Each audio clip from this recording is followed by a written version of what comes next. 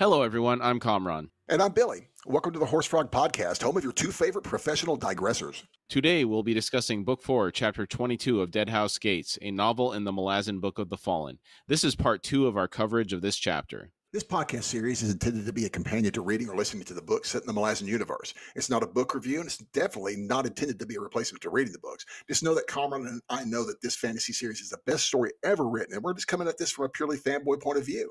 Not really any literary critique. We're just going to enjoy this amazing, brutal, hateful, amazing series. I said amazing, gorgeous. And let's face it, dude, this has lived up to everything, and it's just getting started as we get into this conclusion concluding chapters. it's just getting started as we're getting to this conclusion. Uh, the concluding chapter. Wow. I mean, he always ratchets it up, dude. It's like we're just. It's like the book is always on fire anyhow, but it's just like all of a sudden, it's like I never understand how he does that. yeah, I've mentioned this before. It kind of feels a lot like a Tom Clancy book where you have all these different storylines converging, so so much happens at the end of the book. Yes, and you're like, whoa, whoa, whoa. We'll be covering the events of the books in a linear fashion. There will be spoilers for those that haven't read the books. We'll try not to spoil anything prior to us covering that portion of the respective book. Quick warning today's episode contains descriptions of extreme violence and it's not recommended for children. Absolutely not. Yes. Today is especially bad. Yes. Yes, it is. I'm sorry. That was an uncomfortable laugh. Our show is listener supported. If you'd like to support us, if, Our show is listener supported. I'm sorry. Now it's become really uncomfortable. It's like, it's like we're not going to go too far down the giggles today. okay, sorry. Our show is listener supported. If you'd like to support us, we'd really appreciate we'd really appreciate it. You can do so by visiting our Patreon link on our website at horsefrogproductions.com.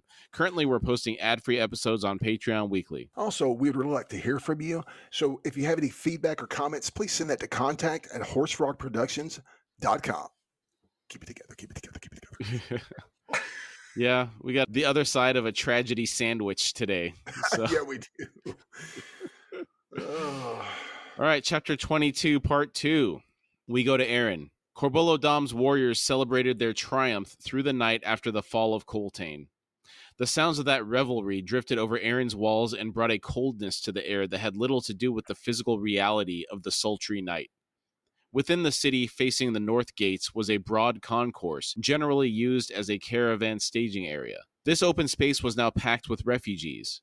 The task of billeting would have to await the more pressing needs of food, water, and medical attention. Commander Blistig had set his garrison to those efforts, and his soldiers worked tirelessly, displaying extraordinary compassion as if answering their own need to respond to the enemy's triumph beyond the walls. Coltaine, his Wickans and the Seventh had given their lives for those the guard now tended. Yet other tensions rode the air. The final sacrifice was unnecessary. We could have saved them, if not for the coward commanding us. For the 10,000 soldiers in Aren, two powerful honors had clashed the duty to save the lives of fellow soldiers and the discipline of the Malazan command structure. They now stood broken. Going back to us asking about the knives in the backs of inept commanders, mm-hmm. if that was a bridge burner thing, do you think there was an upper limit on the rank where people would take things into their own hands? Was it at the squad level, or would you see it at higher ranks? So yeah, so you're asking that if it was this like, would we see officer upon higher officer violence?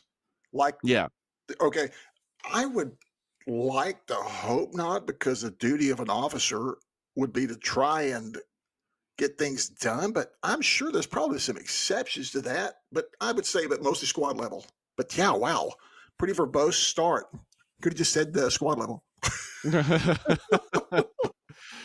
yeah. Bridge burners for sure probably took out some higher. I don't know. Uh, uh, so there's a couple of things at play here.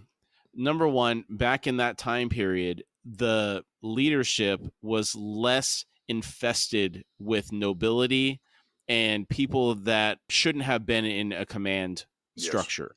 Agreed. Dassem Ultor. Dassem Ultor.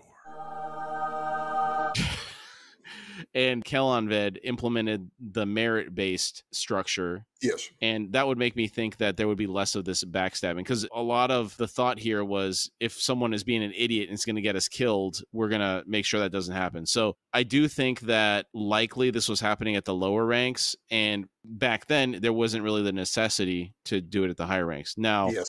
in this scenario, I don't think anybody would have taken it into their hand. Like, I can't imagine Whiskeyjack just up and killing somebody like Pormqual. No. yeah, I would like to think. Yeah, I don't know, but there might be some things that happened around him that might make it happen. That down the road could have pointed to Whiskeyjack, but it would have been subtle. I don't really know, but knowing what's coming at this chapter, I can't say anything right now. Yeah, yeah, we can talk about later. Down in the concourse, Duiker wandered aimlessly through the crowds. Figures loomed before him every now and then, blurred faces murmuring meaningless words, offering information that they each believed, hoped, would soothe him. The Wickan youths had claimed Nil and Nether and now protected them with a fierceness that none dared challenge. Countless refugees had been retrieved from the very edge of Hood's gates. Those few for whom the final flight, and perhaps the release of salvation itself, had proved too much for their broken, riven flesh, were fought for in unyielding desperation. Hood had to reach for those failing souls, reach for, grasp, and drag them into oblivion, with the healers employing every skill they possessed to defeat the effort. Duiker had found his own oblivion deep inside himself, and he had no desire to leave its numbing comfort. Within that place, pain could do naught but gnaw at the very edges, and those edges seemed to be growing ever more distant. Words occasionally seeped through, as various officers and soldiers delivered details of things they clearly felt Duiker should know. The caution in their voices was not necessary, for the information was absorbed, stripped of feeling. Duiker was beyond hurting. The Solanda, with its load of wounded soldiers, had not arrived. He learned from a Wickan youth named Temul. Adjunct Tavore's fleet was less than a week away. Korbolo Dom was likely to begin a siege, for Sha'ik was on her way from Raraku, leading an army twice the size of the Renegade Fist's own force. Malik Rel had led High Fist Pormqual back to the palace. A plan was now in the air, a plan to reap vengeance, and it was but hours away. I wonder what happened to the Solanda. They were sent off prior to the crossing at the river Vathar. Just drinking some wine, eating some cheese, catching some rays, you know. Sorry. Little Kelly's Heroes again. Sorry. Um, do you think that they were waiting to time this with Tavore's arrival? The Solanda? Yeah. I don't know how they would know whether she was going to be there anytime soon. They don't have a mage, I don't think. I wouldn't either. That's true. We lost a couple of man, lost some good ones. Yeah. So that's curious. I wonder what happened to them. Yeah, that's a really good question. Unless it's just that slow of a slog. I mean, No, they had the undead rowers, right. mostly dead. Mostly dead. You know, Yeah. not quite dead yet. you know what's great is, and I think we've pointed this out time and time again, as we go through and we uh, things we forget and things that we don't forget, but also the things that revealed, the interlinking, you know, the ties together of the different books that are like, whoa, and the tying to events in certain books to certain books. And the timeline is always boggling to me. Yeah, I love those reveals where you're like, oh, these are, I like how he'll, that happens a lot, you know, in, in his books. I love it. Yeah. I'm looking forward to when we get some expanded activities around the world and tying Yes. the timelines together. For example, what's happening in Memories of Ice. It's supposed to be happening more or less simultaneously to this. Yeah. So just making sure we know exactly where everything lines up. I do think that there is a little bit of a mismatch with some of it, but we'll figure it out when we get there. Yeah. We'll burn that bridge when we get to it, huh? yeah, I'm Sorry. we'll burn that bridge after we cross it. Is that what he said? yeah, Uh, yeah, yeah. that's uh, Billy Butcher. Yeah.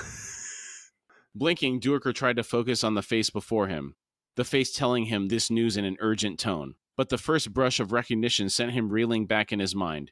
Too much pain was embedded in the memories that were so easily chained to that recognition. He stepped back. The figure reached out a strong hand that closed on Duiker's ragged shirt and pulled him closer once again. The bearded mouth was moving, shaping words, demanding angry words. Through to you, historian! It's the assumptions, don't you see? Our only reports have come from that nobleman, Nethpara. But we need a soldier's assessment. Do you understand? Damn you, it's almost dawn. Duiker asked, What? What are you talking about? Blistig's face twisted. He said, Malik Rel has got through to Pormqual. Hood knows how, but he has. We're going to strike Korbolo's army in less than an hour's time when they're still drunk, still exhausted. We're marching out, Duiker. Do you understand me? Duiker thought, cruel, so cruel. Blistig said, How many are out there? We need reliable estimates. Duiker said, Thousands, tens of thousands, hundreds. Blistig shouted, Think, damn you! If we can knock these bastards out before Sha'ik arrives. Duiker shouted, I don't know, Blistig. That army grew with every hood cursed league. Blistig said, Nethpar judges just under 10,000. What? Duiker said, That man's a fool. yeah, tell me about it. Blistig said, He's also laying the deaths of thousands of innocent refugees at Coltaine's feet. Duiker said, What? He staggered, and if not for Blistig's grip, would have fallen. Here we go. Mm. Starting to paint the picture. Yeah. Blistig said, Don't you see? Without you, Duiker, that version of what happened out there will win the day. It's already spread through the ranks, and it's damn troubling.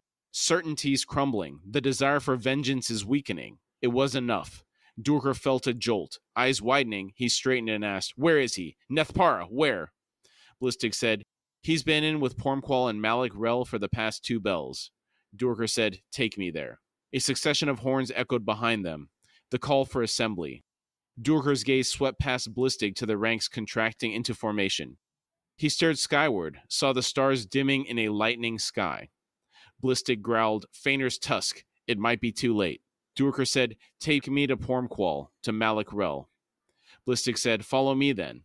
The refugees were stirring as garrison soldiers moved among them, beginning the task of clearing the concourse to allow room for the High Fist's army.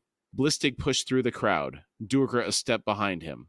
Over his shoulder, Blistig said, Pormqual's ordered my garrison out with them. Rear guard. That's in defiance of my responsibility.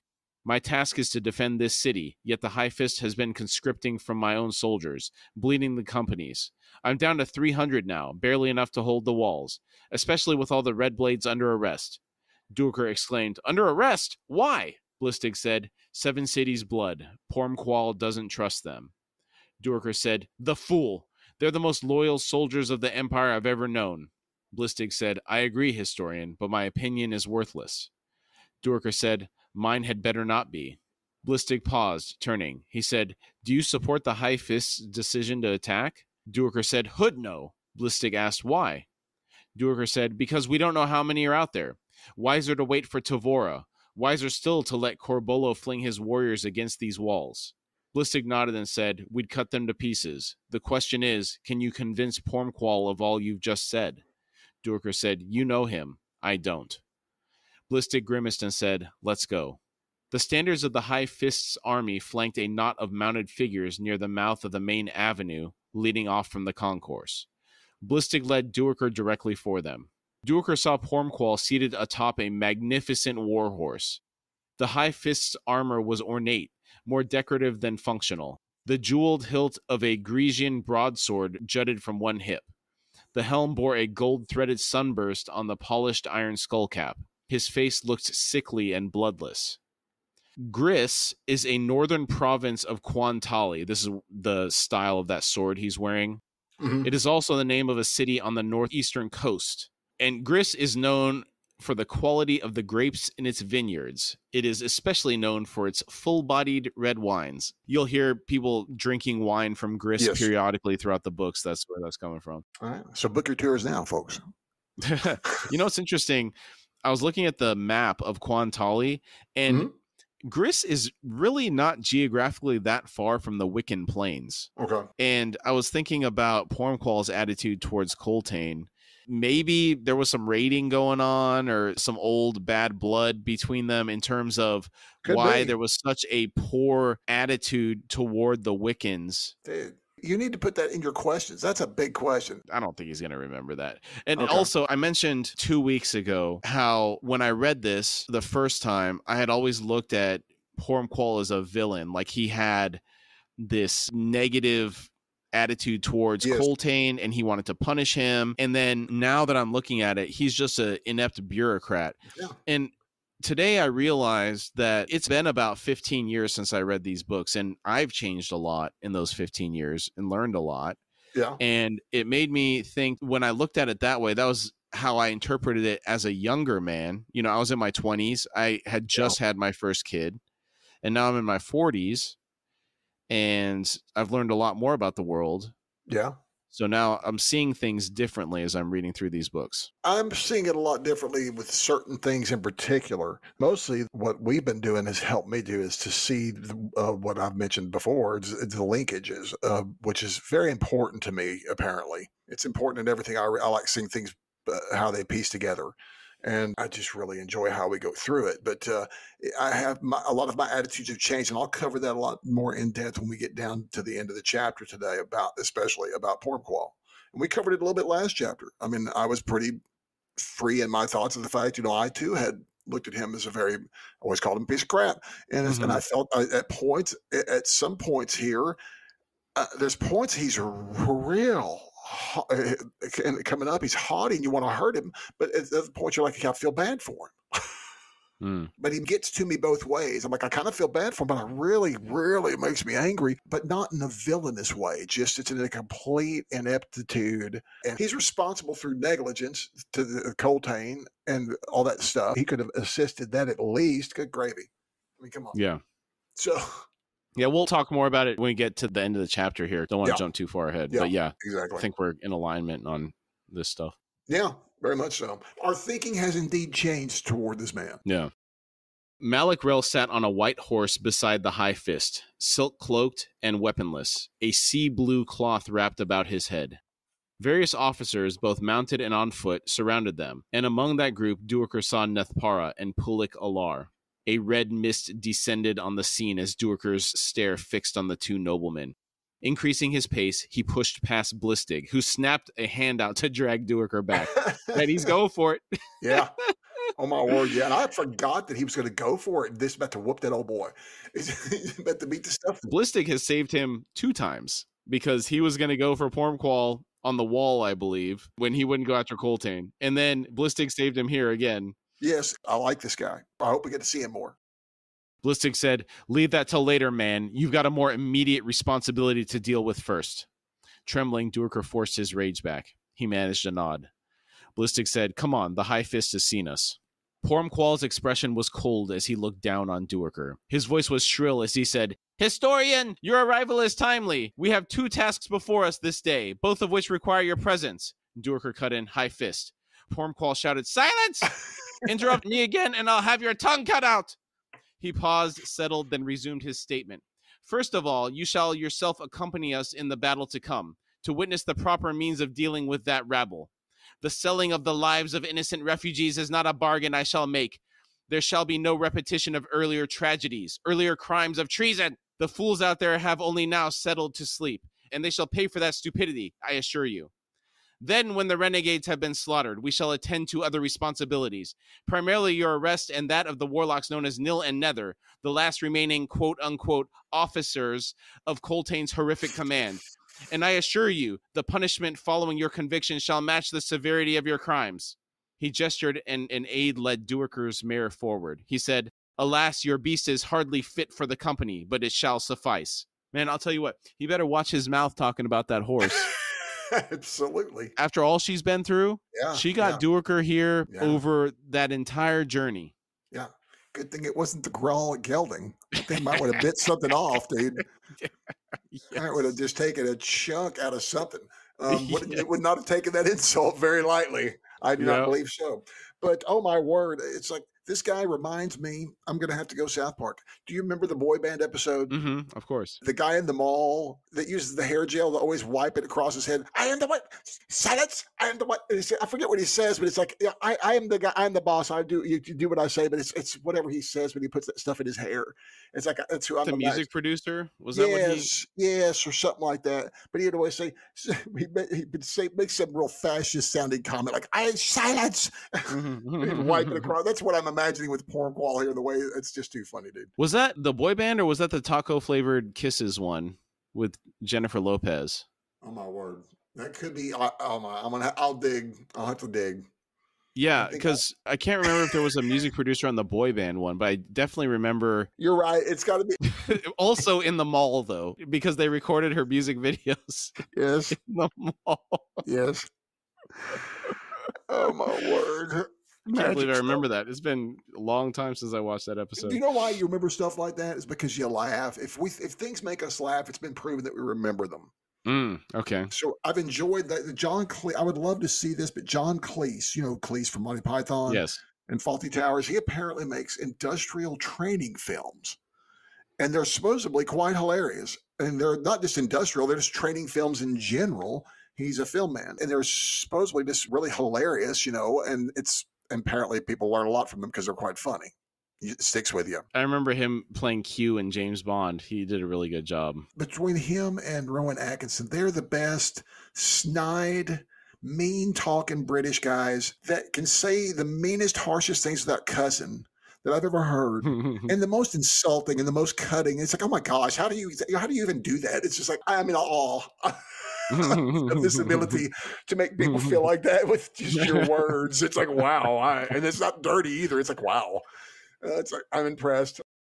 Pormqual continued. Commander Blistig, prepare your soldiers for marching. We wish our rear guard to be no more and no less than 300 paces behind us. I trust that is within your capabilities. If not, inform me now, and I shall happily place someone else in command of the garrison. Blistig said, Aye, High Fist, the task is within my capabilities. His leadership style, man, very haughty. I get where your questions of knives in the back for the high command comes from, though. what I was thinking was this entire scenario we're going through today would have never happened in past days. Agreed. People will respect a commander that can be that haughty in some of these groups because they've earned it. Yeah, You if it's like a Napoleon, right, right. you're kind of like, okay, we're gonna win every battle potentially. Uh, he has a track record of success, so okay, maybe he earned a little bit of it, right? But this guy has Right. nothing.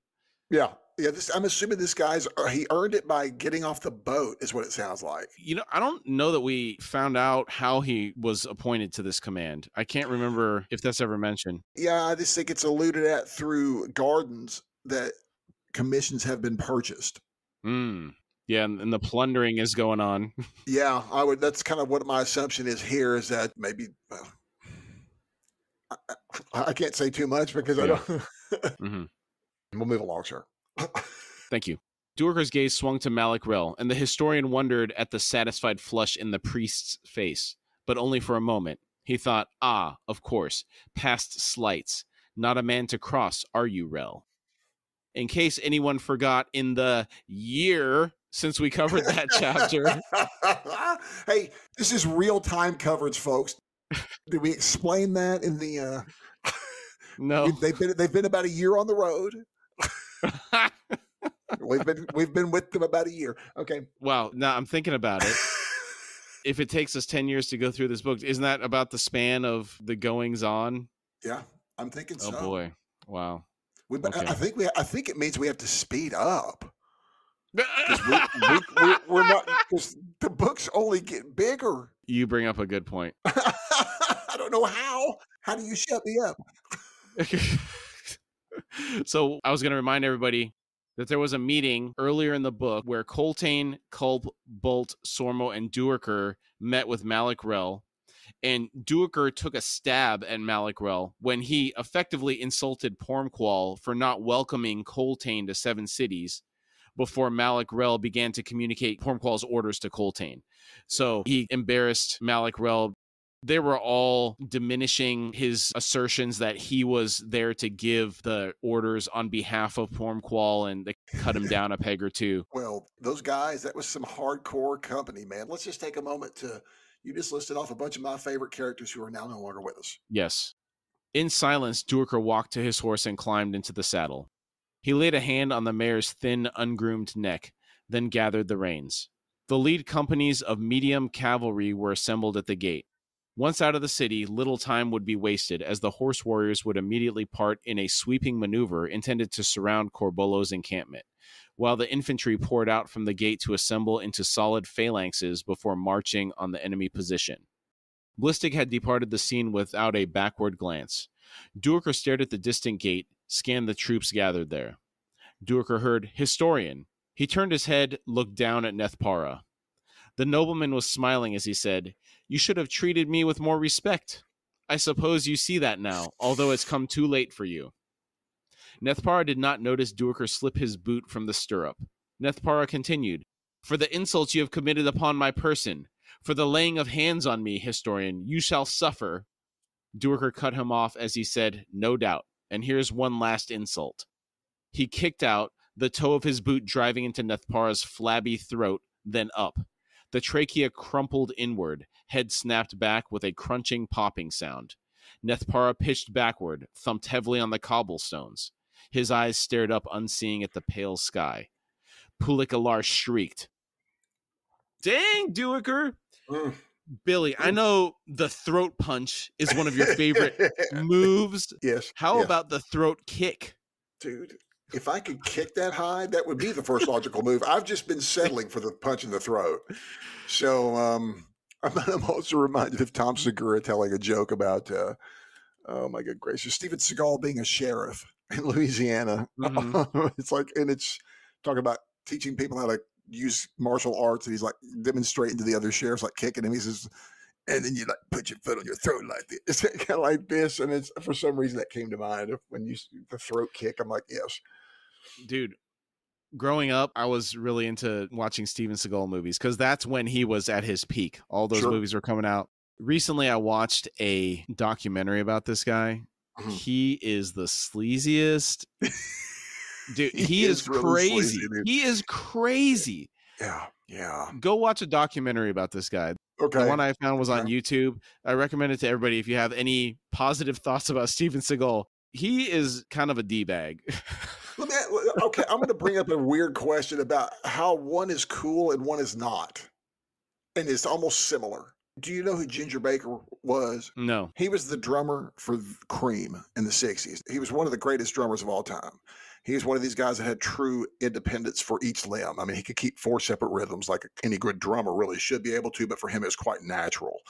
And dude, this guy, this, there's this documentary I think you ought to watch called Beware Mr. Baker. And he's been in retirement in South Africa. For, he just died recently. So when I saw this, he was still alive. But this documentary shows you talking to this guy. This guy's kind of funny, but you can tell he's crazy. Know, a guy that lived a hard, drugged out life, but still got a lot of money. And living in some compound in South Africa. He got involved in playing with some bands that were political opponents of each other. And so he got in some trouble this way and that. It's it's very crazy. But later on, you see that this guy who's doing the interview and, and has befriended him has got a bloody nose. And what's happened is when they've interviewed him, they've told him they're going to talk to these people. And they're like, he's like, heck, you are. And he pops him in the face with a cane. and Ginger's just that way. I mean, Ginger was apparently always that way. But it's like, for some reason, as a rock star, why do rock stars get away with it? yeah. I don't know. I don't know. Different rules for people that are higher up in the hierarchy, I guess. Yeah, but Steven Seagal is that. Yeah, you're right. He has that special sleaze bag. He is a very ti- eh, him and like was it Ron Jeremy? They have that. They exude that Yeah. same sleaze bag type. They're about the same level of pornographers in a way. It's just Steven Seagal is just selling other kind of dirt. Well, I was more talking about his personal conduct in his life. Right, I mean, he did some bad stuff to Oh, yeah. like, people that cared about him. He's awful. Go watch the documentary. It'll Okay, speak for itself. I don't need to Okay. talk too much about it. Okay, and then joking about the throat kicking aside, Duiker straight up murdered this dude. yeah, you know, and I had forgotten he just straight up just murders this old boy. But it's just kind of like you know, it this can't really get any worse. You might as well. Yeah, here's a shot. uh, You know, He would have killed him at the Vathar crossing. that's true. All those people died because of him, because he's the one that was pushing to go across the river. Yep. I can't remember all the other transgressions that he had. he was involved in every aristocratic transgression involved in this book. Yes. The Let's ringleader. like yes, yes. So we've all. I'm sorry, we've all wanted this character to, to not be here anymore. Mm. I mean, I, I it's like now. I'm sorry that it's like it- that was kind of cold blooded murder, but I, I, but it's like yeah, well, will not be missed. No moment. It will of- not be missed. Yes. No definitely. moment of silence will be observed for this character, Right. like for other characters. Soldiers closed in around Duiker, weapons out. Duiker said, By all means, I shall welcome an end to this. Pormqual was white with rage. He hissed, You shall not be so fortunate. Duiker sneered at the man. You've already convicted me as an executioner. What's one more, you craven pile of dung? Wow. He shifted his gaze to Malik. And as for you, Jhistal, come closer. My life's still incomplete. I love that quote. Uh, I absolutely love that quote. I love how hard Duiker has become, and he is so, so angry and righteously so. I mean, good gracious, everyone can see the writing on the wall. hmm we all see where this is going. This is not going to be pretty. No, no. What was the other quote that was very similar? I think it was Tene Baralta talking to Mebra. He said, Oh, "Come closer, let me caress the other side of your face." yes, him with that mailed gauntlet. yeah. I love those guys, dude. They were some real bad dudes. Uh, You know, hard men that we'll never really get to know, I guess. Tene Baralta, he's he'll be around. Oh, is he around? Oh, Yeah, it was the Citral brothers. Those are the ones that went Oh, down. Yeah, Straw Brothers. I love this. It's, it's uh, what's so funny. It's like I, it's, I remind it's of Monty Pythonism about the Piranha Brothers. It's like, it's like these guys are about as mean as the Piranha Brothers were too. Oh, Duiker did not notice, nor did anyone else, the arrival of a captain of Blistig's garrison. The man had been about to speak with Duiker to inform him of the safe delivery of a child to a grandfather. But at the word Jhistal, he stiffened. Then, eyes widening, he took a step back. The gates opened just then, and the troops of cavalry poured through. Motion rippled through the legions of infantry as weapons were readied. Keneb took another step back, that lone word echoing in his mind. He knew it from somewhere, but full awareness eluded him, even as alarms rang in his mind. A voice within was shouting that he needed to find Blistig. He did not yet know why, but it was imperative. But he had run out of time. Keneb stared out as the army surged toward the gate. The orders had been given, and the momentum was unstoppable. Keneb took another step back, his words to Duiker forgotten. He stumbled over Nethpara's body unnoticing, then spun about and ran. Sixty paces on, Keneb's mind was suddenly flooded with the memory of when he had last heard the word Jhistal. And just as a reminder, this was during a conversation with Kalam prior to them parting ways. Kalam told Keneb that the bandits that he had temporarily rode with, these were bandits of the apocalypse, Mhm. they spoke of a Jhistal inside of Aren as if it was a shaved knuckle in the hole. Not good. really bad. Okay, this is really bad. yes. Duiker rode with the mounted officers out onto the plain. Korbolo Dom's army looked to be in full panicked flight, though Duiker noted that they still held onto their weapons even as they fled back over the mound and its facing slope. The High Fist's cavalry rode hard to either side, quickly outpacing the foot soldiers as they pushed to complete the encirclement. Both wings rode beyond line of sight, into the evenly distributed hills of the burial ground. The High Fist's legions moved at double time, silent and determined. They had no hope of catching the fleeing army until the cavalry had completed the encirclement, closing off all avenues of escape. Malik Rel shouted, As you predicted, High Fist, they are routed. Pormqual laughed and said, But they shall not escape, shall they? He pitched unevenly in his saddle.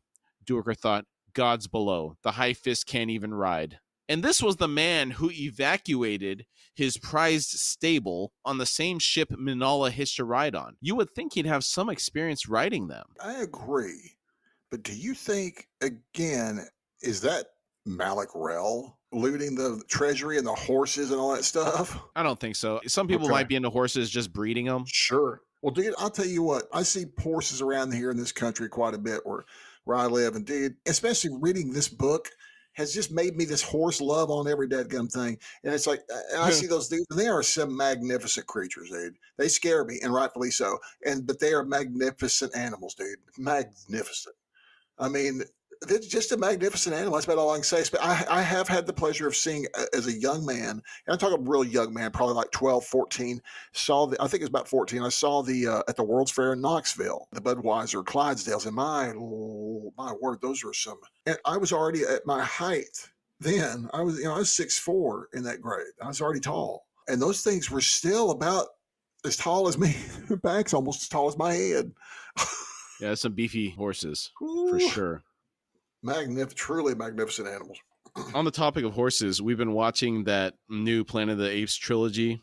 Oh, has that been good? Yeah, it's actually been pretty entertaining. The first one has Franco, right? Yes, Andy Serkis plays the chimp in all of them, the Caesar, Right the main chimp. Yeah, But right. the reason I bring this up now, those chimps must have some crazy horse breeding program because they got some nice horses in the second and third movies. Yeah, Some really pretty black horses that they ride. Is the new movie a fourth movie or is It it, is. the third? Yeah, Okay, Kingdom okay. of the Planet of the Apes. Yeah. I've heard some good, and I haven't heard real bad. I just heard some. The bad was not you're not bad bad. It was just a pacing issue. I think that's what I was told. Like one of the things that I was told in particular was that the action in it. Somebody said it was like the most immersive action they'd ever felt in some movies. And the fourth one that just came out. And this new one that's come Okay. out, yeah, They've been pretty crazy so far. Enjoyable. It's a decent action movie. I need to rewatch them because I think I've only seen the I've seen the one with Franco. And I've seen one or two of them. I just can't remember if I've seen. I can't remember which ones they were. The one I saw was where his daddy had where it was Lithgow. Yeah. and had, and that- that's the first the- one. Okay, that Yeah. may be the only one I've seen. Then there's three of them. Holy moly! Okay, There was I gotta- four I of them now. right. So I've got some catching up to do. Right on. The pursuit took them up and over the first barrow, and they rode among the corpses of the seventh and the Wickans. Those looted bodies spread northward in a wide swath, mapping the route of Coltaine's running battle, over the next barrow, then around the base of the one beyond. Duiker struggled to keep from scanning those corpses, seeking familiar faces in their unfamiliar expressions of death. He stared forward, studying the fleeing renegades. Pormqual periodically slowed their pace to keep within the midst of the infantry. The wings of cavalry were somewhere ahead, and had not reappeared. In the meantime, the thousands of fleeing soldiers stayed ahead of the phalanxes, sweeping around the barrows, leaving booty behind as they went. Pormqual and his army doggedly pursued, down into a vast basin, packed with the routed enemy who began pouring up the gently sloping sides. Dust ringed the crest to the east and west, and directly ahead. Pormqual cried, The encirclement is complete! See the dust? Duiker frowned at that dust. Faintly, he heard the sounds of battle. A moment later, those sounds began to diminish, while the rising dust thickened, deepened. The infantry marched down into the basin. Duiker thought, something's wrong. The fleeing soldiers had reached the crests now on all sides but the south, but instead of continuing their panicked pace, they slowed, readied their weapons, and turned about. The curtain of dust climbed higher behind those warriors, then mounted figures appeared. Not Pormqual's cavalry, but tribal riders. A moment later, the ring of foot soldiers thickened, as rank after rank joined them. Duiker spun in his saddle. Seven cities' cavalry lined the south skylines, closing the back door. Duiker thought, and so we ride into the simplest of traps, leaving Aren defenseless. Pormqual reined in and shrieked, Malik! What is happening? What has happened? it's unbelievable. hmm I wonder if this guy even has any tactical training. I'm assuming not. I almost get the impression that he's leaned so hard on Malik that Malik's like, you know, don't worry, these Malazans, these boys are so disciplined, and they know what's what. All you got to do is ride at the front of them and just kind of hold on to your saddle, you'll be all right. Gassed him up real good. yeah, minus the southern Texas boy accent here. you don't know that. You don't know what That's those people talk like. That's true. He could be. He could be from the southern regions. Malik's head was jerking in all directions, his jaw dropping. He hissed treachery and swung his white horse around, eyes fixing on Duiker. He said, This is your doing, historian, part of the bargain Nethpara hinted at. More, I see the sorcery around you now.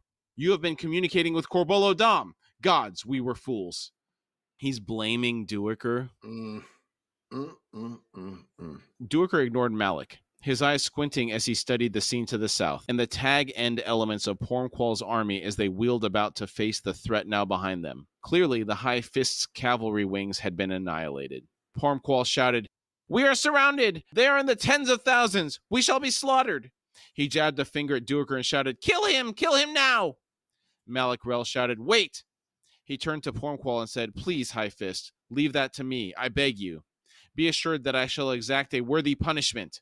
Pormqual said, As you say then, but what shall we do, Malik? Malik Rel pointed to the north and said, There, riders approach under a white flag. Let us see what Korbolo Dom proposes, High Fist. What have we to lose? Pormqual gibbered, I cannot speak with them. I cannot think. Malik, please. Malik Rel said, Very well. He swung his mount around, jabbed spurred heels into the beast's flanks, and rode through the milling ranks of Pormqual's trapped army. It's crazy how Pormqual didn't even ride with him to listen to this parley. Uh, yeah, he's such a coward. I need Duiker to come kick this guy in the throat. But um, in all honesty, it's kind of one of these things like You asked if he had any training.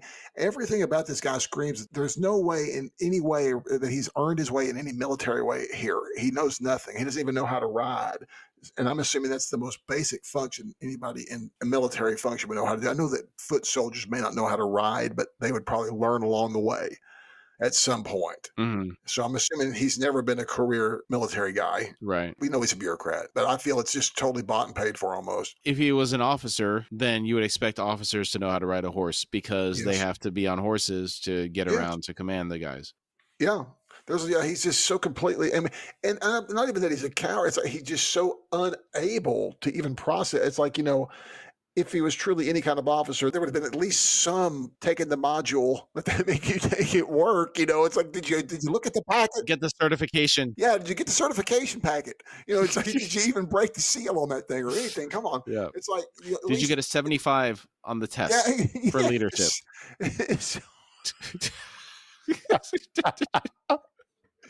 Oh, We've lowered the did. standards this year. You just Oh, have yeah. to you just have to put your name on the form. Okay, there we go. Midway up the distant north slope, the converging riders met. The parley lasted less than a minute, then Malik wheeled and rode back. That's not suspicious. Duiker quietly said, If we push back, we can break the elements to the south. A fighting withdrawal back to the city's gates. Pormqual shouted, Not another word from you, traitor! Malik Rel arrived, his expression filled with hope. He said, Korbolo Dom has had enough bloodshed, High Fist. Yesterday's slaughter has left him sickened. Pormqual leaned forward and demanded, What does he propose then? Malik Rel said, Our only hope, High Fist. You must command your army to lay down its arms, to pass them out to the edges, then withdraw into a compact mass in the center of this basin. They shall be prisoners of war, and therefore treated with mercy. As for you and me, we shall be made hostages. When Tavore arrives, arrangements will be made for our honorable return. High Fist, we have no choice in the matter. Blood starts to boil. Yeah. yeah. Blood pressure increasing. Yes, blood pressure increasing. A strange lassitude seeped into Duiker as he listened. He knew he could say nothing to sway the high fist. He slowly dismounted, reached under his mare, and unhitched the girth. Malik Rel demanded, What are you doing, traitor? Duiker said, I'm freeing my horse. The enemy won't bother with her, too worn out to be of any use. She'll head back to Aren. It's the least I can do for her. He removed the saddle, dropped it to the ground to one side, then pulled the bit from the mare's mouth. Malik Rel stared for a moment longer, a slight frown on his face. Then he turned back to Pormqual and said, They await our reply. Duiker stepped close to his horse's head and laid a hand on the soft muzzle. He whispered, Take care. Then he stepped back, gave the animal a slap on the rump. The mare sprang away, wheeled, then trotted southward, as Duiker knew she would. That's another sad goodbye. Mm. That horse has been through so much. Glad he saw what's coming and set her loose. Yeah. Hey, question though: Have all of our favorite, the, the most storied horses survived? Not the, you know, we know not the Wickan sacrificial horse. That's a horrible thing. But the other, and we've lost a bunch in battle per se. But you know, the ones that have been with our favorites have all survived some hardships and been hurt, but have survived, haven't they? Duiker, the Grawl Gelding, didn't she survive? I believe so. I think Kalam. So yeah, so the three ones that we have got to know and love dearly, I think have all survived to some point. They may not be they may not be in the story any longer, but why do we care so much about the horses? Is it because of the Wickans? Did Mister Erikson get a horse? I don't know. I don't know, man. I, why the horse love? I don't get me wrong. I'm enjoying it. It's the attitude that they bring in many cases. Yeah. Pormqual whispered, What choice? Unlike Coltaine, I must consider my soldiers. Their lives are worth everything. What? Peace will return to this land sooner or later. Malik Rel said, Thousands of husbands, wives, and fathers and mothers will bless your name, High Fist. To fight now, to seek out that bitter, pointless end, ah, they will curse your name for all eternity. Pormqual said, I cannot have that. He faced his officers and said, Lay down arms, deliver the orders, all weapons to go to the edges and left there, the ranks to withdraw to the center of the basin. Duiker stared at the four captains who listened in silence to the High Fist's commands. A long moment passed, then the officers saluted and rode off. Duiker turned away. the disarmament took close to an hour, the Malazan soldiers yielding their weapons in silence. Those weapons were piled on the ground just beyond the phalanxes. Then the soldiers made their way inward, forming up in tight, restless ranks in the basin's center. Tribal horse warriors then rode down and collected the arms. Twenty minutes later, an army of 10,000 Malazans crowded the basin, weaponless, helpless. Korbolo Dom's vanguard detached from the forces on the north ridge and rode down toward Pormqual's position. Duiker stared at the approaching group. He saw Kamist Reloe, a handful of war chiefs, two unarmed women who were in all likelihood mages, and Korbolo Dom himself, a squat half Napan, all hair shaved from his body, revealing scars and tangled webs. He was smiling as he reined in with his companions before the High Fist, Malik Rel, and the other officers. You know, I always pictured Korbolo Dom as a pretty big guy, maybe the height of Jason Momoa, Mhm. but them mentioning him being a squat individual, I guess he's not that tall. to me, Danny DeVito is squat. so, so it's more of a DeVito and not a Momoa. So okay, fair that's enough. how that's what I think of as squat. The penguin, toad like, is squat to me. I mean, and that's and I like Heboric. yes because that's mentioned quite. A, yeah, yeah.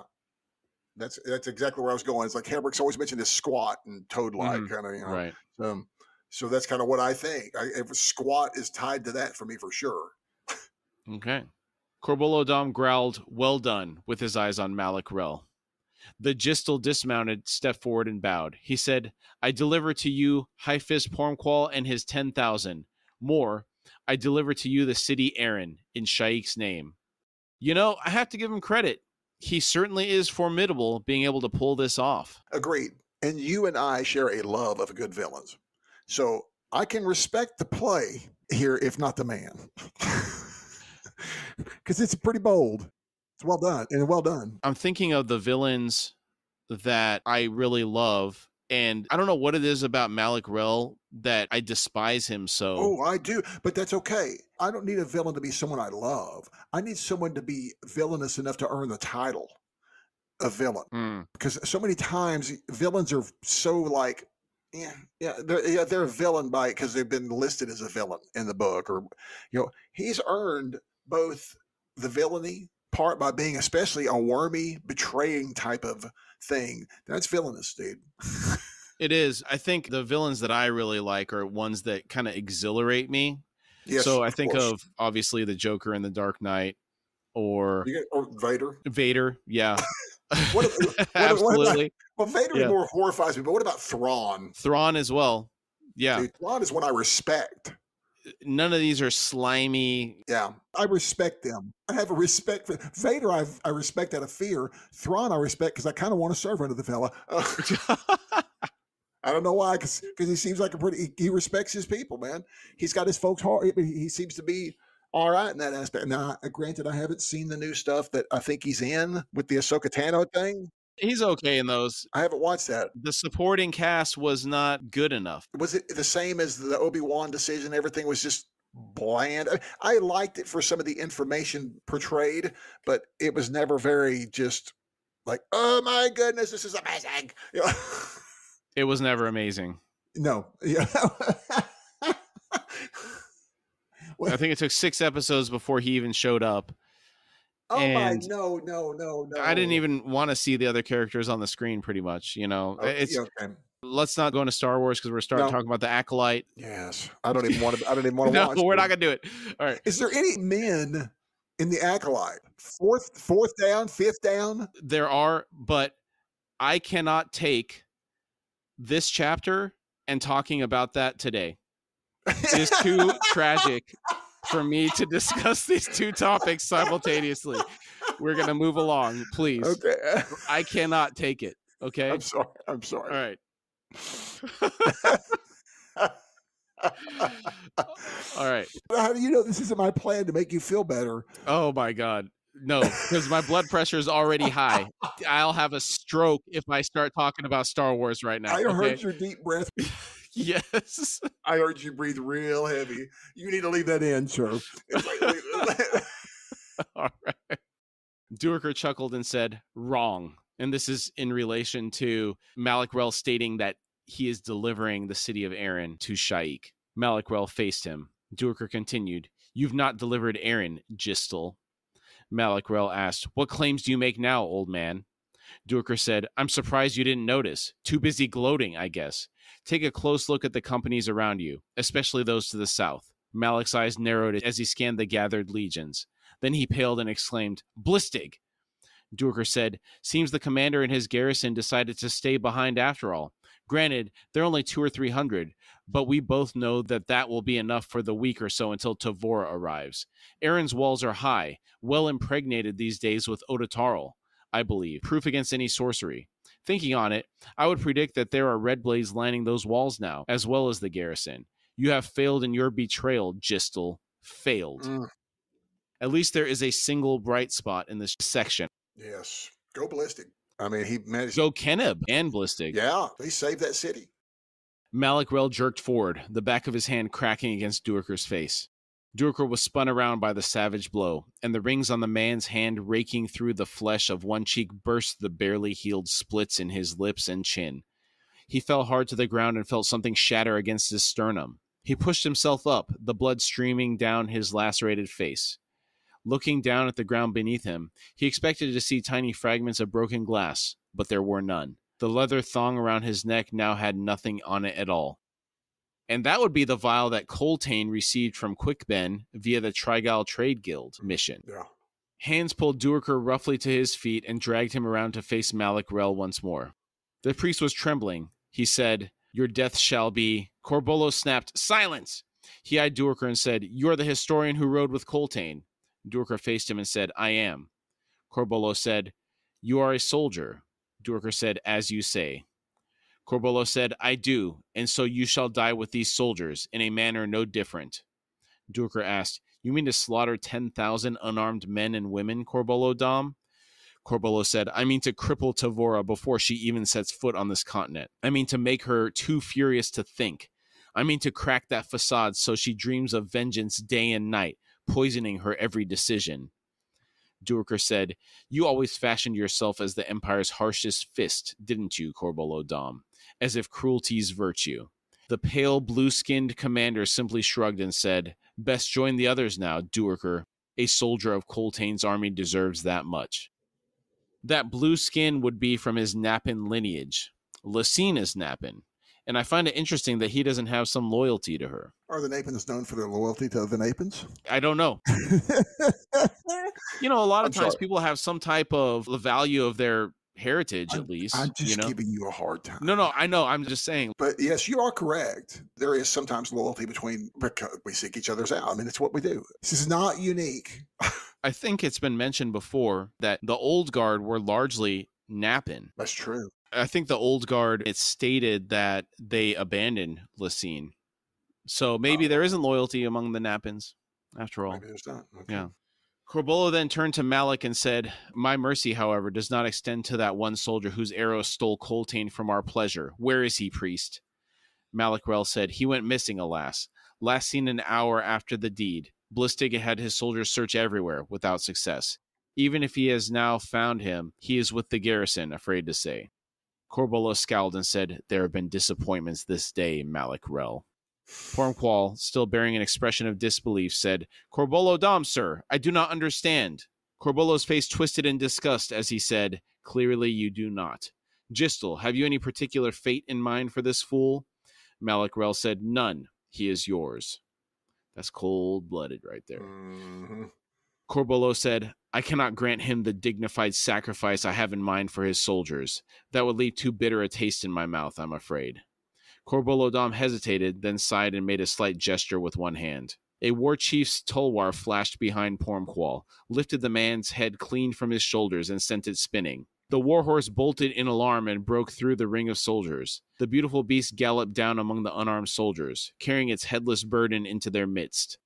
The high fist's corpse, Duiker saw, rode in the saddle with a grace not matched in life, weaving this way and that before hands reached up to slow the frightened horse, and Pormqual's body slid to one side, falling into waiting arms. It may have been his imagination, but Duiker thought he could hear the harsh laughter of a god.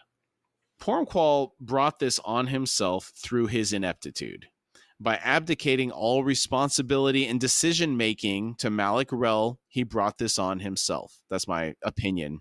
Agreed. This scene with the headless body riding on the horse, I'm reminded of the opening scene in Gladiator, where the tribes send back the headless corpse of the Roman messenger. You remember Oh, that? nice. Yes, it's been a long time, but yes, I do remember that. The only other time I remember dead people on horses is a fistful of dollars. Mm. Guy tied in the saddle. It's right at the beginning of the movie when they're waiting to see if they get a response from the tribes, and then the Oh, horse comes running through. The, yeah, I just ha- had that image in my mind. Oh, that's great. There was no shortage of spikes, yet it took a day and a half before the last screaming prisoner was nailed to the last crowded cedar lining Aren Way. Where the heck did they get all these spikes from? From Screaming Stand Specialized Sticky Spikes. Come on down Executive Highway. I'm sorry. But uh, dude, it's they're nails. I'm assuming they're big nails, but I mean they, they don't take up that much space. but th- they're needing at least six per. They're needing at least They had to have these for a long time. I'm, Yeah, well, that's true. We're talking around sixty thousand to hundred thousand. You know, let's not talk about the bent ones. So we need to replace those. So yeah, probably a hundred thousand spare spikes. that's a lot of stuff Yeah, to carry around. Screaming Stan specialized sticky spikes. Wait, Did you come up with that? yes, yeah, that's just me. Trying to be illiterate. oh man 10,000 dead and dying Malazans stared down on that wide exquisitely engineered imperial road eyes unseeing or eyes uncomprehending it made little difference Mm. And what an image that is 10 miles of perfectly planted cedars adorned with the bodies of 10,000 soldiers absolutely brutal and a core memory Mm, absolute core memory. Yeah, really. Uh, the methodical murder. eh, Well, it's not quite murdered yet because people don't necessarily die quick in this way. Yeah, it's a really nasty thing, dude. yeah it makes me cringe thinking about it it's terrible There's just so much. I, I'm not even sure what bothers me so much in this section. I mean, it is the death of. First, I was more upset by the death of Coltaine. This group here, I'm upset because they were led into betrayal. But the betrayal is worse in ways, in a different way that just make does it. It doesn't upset me as much as it just makes me so stinking mad. It does. It's so wasteful. And the fact that they couldn't even defend themselves. It- it's just one thing after another. First, they have to witness Coltaine's death, standing there, unable to do anything about it because of the chain of command. Yeah. Then they think they're going to go out and get some revenge. They're just like, hey, give your weapons to us. You'll be okay. Yeah. You know, And and then they I- just have to accept it's like Duiker. You just accept your fate at some point, Yeah. you know? I mean, and none of them really fought back because they kind of just accepted it morbidly. yeah, it's aggravating. it's infuriating. their spirits were broken i think is ultimately what ended up happening here Yeah, well, yeah, your betrayal of Coltaine, then followed by this betrayal of the Jhistal. Basically, there's two different things that are very similar. It's like they, they were already broken by, yeah, spirit broken because they come in here thinking, oh, we're going to catch these guys off guard. Yeah, yeah, yeah, yeah, yeah, we're going to win. Oh, nope. Yeah. Not even close, man. Duiker was the last the rusty iron spikes driven through his wrists and upper arms to hold him in place high on the tree's blood-streaked bowl more spikes were hammered through his ankles and the muscles of his outer thighs the pain was unlike anything Duiker had ever known before Yet even worse was the knowledge that that pain would accompany his entire final journey down into eventual unconsciousness, and with it, an added trauma where the images burned into him. Almost 40 hours of being driven on foot up Aren Way, watching each and every one of those 10,000 soldiers joined to the mass crucifixion in a chain of suffering stretching over three leagues. Each link scores of men and women nailed to every tree, to every available space on those tall, broad trunks. To have to watch everyone go before him is yet another tortuous experience for him to have to live through. Dude, I'm going to ask a really bothersome and stupid question. Did they do it one at a time or was it done by groups and he just had to watch it? Or was it like, oh my good gracious, he doesn't watch these last ones waiting for his turn? Either way, it's awful. I'm assuming they were doing multiple trees at a time, but Yeah. still, it Jeez. takes time. Oh my word. It's going to take, good gracious, it's going to take a long time. Oh, God. Imagine waiting for your turn. Dude, Ugh, yeah, it's that's terrible. tough. That's terrible. Duiker was well beyond shock when his turn finally came. As the last soldier to close the human chain, he was dragged to that tree, up the scaffolding, pushed against the ridged bark, arms forced outward. Feeling the cold bite of the iron spikes pressed against his skin, and then, when the mallet swung, the explosion of pain that loosed his bowels, leaving him stained and writhing. The greatest pain arrived when the scaffolding dropped from under him, and his full weight fell onto the pinning spikes. Until that moment, he had truly believed he had gone as far into agony as was humanly possible. He was wrong. Ugh. After what seemed like an eternity, when the ceaseless shrieking of his sundered flesh had drowned out all else within him, a cool, calm clarity emerged, and thoughts, scattered and wandering, rose into his fading awareness. He thought, The Jaghut ghost. Why do I think of him now? Of that eternity of grief? What is he to me? What is anyone or anything to me now? I await Hood's gate at last. The time for memories, for regrets and comprehensions is past. You must see that now, old man. Your nameless marine awaits you, and Bult and Corporal List, and Lull, and Sulmar and Mincer, Culp and Heboric too, most likely. You leave a place of strangers now, and go to a place of companions, of friends. So claim the priests of Hood. It's the last gift. I am done with this world, for I'm alone in it, alone. A ghostly, tusked face rose before his mind's eye, and though he had never before seen it, he knew that the Jaghut had found him. The gravest compassion filled that creature's unhuman eyes, a compassion that Duiker could not understand. He thought, Why grieve, Jaghut? I shall not haunt eternity as you have done. I shall not return to this place, nor suffer again the losses a mortal suffers in life and in living. Hood is about to bless me, Jaghut. No need to grieve. Those thoughts echoed only a moment longer as the Jaghut's ravaged face faded and darkness closed in around Duiker, closed in until it swallowed him. And with it, awareness ceased. And thus the chapter ends. Mm. Ugh. Grueling. I just realized that we never found out what that nameless Marine wrote on that note. Do you remember if we find that out later? I'm not sure. Yeah. For standout moments, I mean, this is a tough section, but uh, yeah, it is. Nethpara getting his due. Agreed. That throat kick. Yeah, pretty righteous. I enjoyed that. Very I don't know if I enjoyed it, but you know, I did. it, it I'm felt say right. I'm sorry. I'm sorry. Know, I'm going to Billy, say I enjoyed it. we do not enjoy the death of others. You're correct. I'm not supposed to, especially as a Christian man. I'm supposed to be that way. But this man's fictional. I mean, eh, Mm. he's earned. He's earned it, dude. well, he certainly earned it. I don't know about How many people- reveling. he- He. I'm not reveling. It- It's Yeah. just the guy's responsible for thousands of people getting killed, probably. yes. A- And so he should have died a long time ago. but that, I think that was saved so we at least get so at least Duiker would get his two cents worth at least. So that's why they. This is why it's so satisfying. It's because at least it's like you know what? Here you go. hmm hmm I got nothing else. I Yeah. got, um, it's it's all going downhill. At least I'm going to take you with me. Kenneb remembering where he heard Jhistal previously. That was a nice setup that Mr. Erikson did there earlier in the book. Yeah, absolutely brilliant and really kind of chilling as he puts two and two together there. hmm Too bad it wasn't sooner. Yes. Well, he didn't. He never heard it. Yeah. It was just that's what makes it so much more Tragic. But you're right. I think uh, it makes it tragic, but it's also, I think you're right. It's what enabled him and Blistig to get that place sealed back up. Yes. Pormqual's absolute incompetence as a commander fully on display. Very irritating, to put it mildly. Vastly understating. Duiker's goodbye to his horse yeah. is very uh, heartfelt. Great horse, man. That horse has been with us the longest of any horse in the book Yes. because the other ones were let loose at the different points, I believe. Here, this one's gone with us since he hit the ground. Malik Rel's betrayal of the Malazan forces.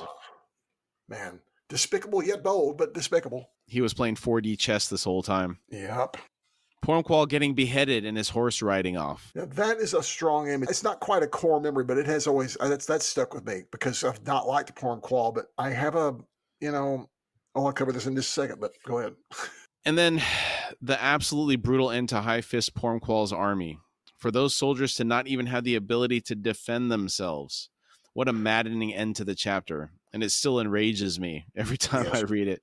It does, it, but it's in this time, as we've covered a little bit already. I'm not so in you know. I think this is wrongfully colored Pormqual. Yeah, he's despicable and and not a good guy, but he's more of a just a useful idiot for Malik Rel to turn and using this betrayal. That is a perfect description. He is a useful idiot. Yeah.